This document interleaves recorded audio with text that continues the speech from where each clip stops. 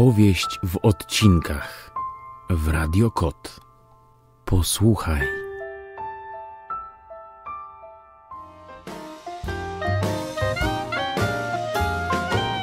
Tadeusz Dołęga-Mostowicz Kariera Nikodema Dyzmy Rozdział trzeci, odcinek pierwszy Cały ranek zajęły przygotowania do wyjazdu.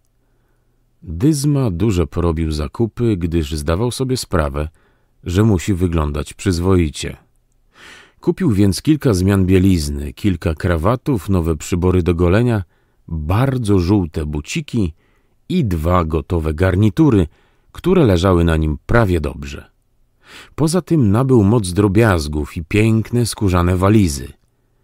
Syn rejenta Windera, student z Lwowa, Niegdyś cały Łysków zachwycał swą elegancją, a w jego pokoju Nikodem nieraz podziwiał szyk różnych przedmiotów toaletowych i teraz przy zakupach starał się naśladować gust młodego rejentowicza. Kapitał został mocno nadszarpnięty, lecz Dyzma był kontent z siebie.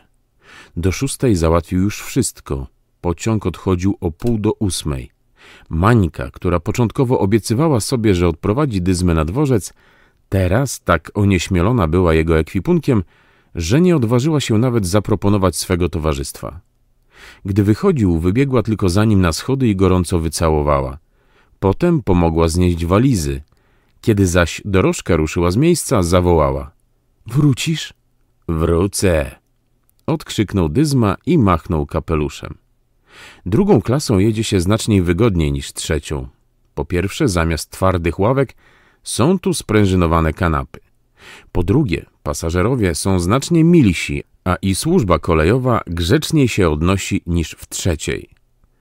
Dyzma rozkoszował się swą pierwszą podróżą w warunkach, które dawały mu wrażenie, że oto jest panem całą gębą i że nie tylko naczelnik Urzędu Pocztowego w Łyskowie, ale nawet obaj Winderowie, ojciec i syn, niczym nie zaimponowaliby mu teraz. Kilka osób, które zajęły miejsce w tymże przedziale, wkrótce wysiadło i Dyzma pozostał sam. Nie chciało mu się spać. Zresztą należało gruntownie obmyślić całą sprawę. Rozumiał już dobrze teraz, że niespodziewaną propozycję Kunickiego zawdzięcza wyłącznie temu, że ten stary wyga wziął go za wpływową osobistość, pozostającą z ministrem Jaszuńskim w bliskich stosunkach. Oczywiście rozwianie tego złudzenia równałoby się z rezygnacji z tej niewiarygodnie wysokiej pensji. Cały tedy spryt należy wysilić w tym kierunku, by Kunickiego utwierdzić w mylnym przekonaniu i jak najdłużej pobierać te pensje. Utrzymanie i mieszkanie będzie darmowe, wydatki zatem ograniczą się zaledwie do kilkudziesięciu, może stu złotych miesięcznie.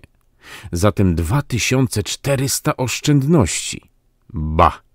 Żeby chociaż ze trzy miesiące wytrwać, może pół roku. Uśmiechnął się do siebie. Później można by na procenty chociażby pożyczać i żyć jak jaśnie pan, nic nie robiąc. Tylko trzeba kołować starego jak najdłużej i mieć się na baczności, żeby się nie wsypać. W ogóle mówić jak najmniej, a o sobie ani jednego słówka. Stary też nie w ciemię bity – i jakby tylko najmniejsze podejrzenie powziął, przepadło wszystko. Świtało już, gdy konduktor wszedł i zameldował, że dojeżdżają do stacji Koborowo. Dyzma zaniepokoił się, czy też Kunicki pamięta, że on ma tym pociągiem przyjechać. Okazało się wszakże, że pamiętał. Do wysiadającego Nikodema podszedł zaraz lokaj w Liberii. Czy to wielmożny pan do państwa Kunickich? Tak, Samochód czeka przed stacją, panie administratorze. Rzekł służący i zabrał walizy. Usadowiwszy się w luksusowym wozie, Nikodem pomyślał. Pan administrator generalny dóbr Koborowo. Trzeba będzie zafundować sobie karty wizytowe. Równa jak stół droga szła przez jakiś czas wzdłuż toru. Później przy malowniczym na wpół zrujnowanym młynie wyginała się na obłym mostku i skręcała w prawo, mijając liczne zabudowania fabryczne, które gęsto obsiadły bocznicę kolejową. Stąd już zaczynała się długa aleja klonowa, na końcu której leżał strzelisty pałac. nieco dziwaczny i pretensjonalny w stylu, lecz harmonijny jako całość. Auto zatoczyło półkrąg obok gazonu i stanęło na podjeździe. W otwartych drzwiach ukazała się pokojówka i wraz z lokajem zaopiekowała się walizami.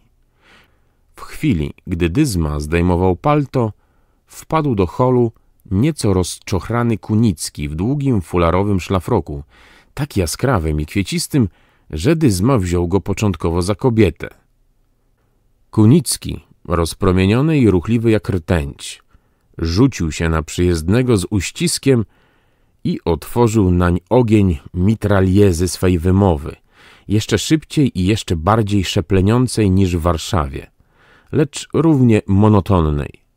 Pierwszym pytaniem, po którym zrobił pauzę, na odpowiedź było – czy drogi pan woli zamieszkać tu w pałacu, czy też w pawilonie w parku?